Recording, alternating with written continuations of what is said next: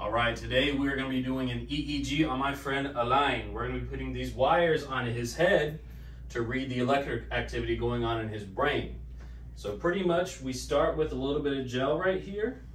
It's a little bit cold, but it doesn't hurt. We find our spot where we have to go, rub some gel. Once we have the gel on, we grab one of the wires, get some of the cream to help it stick, plug in the machine, put it on top right there. A little bit of cotton like a cherry on top, whoop, like that.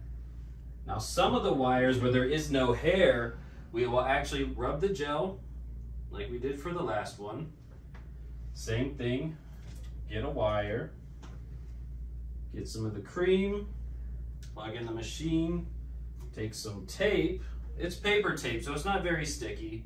Sticks on just like that.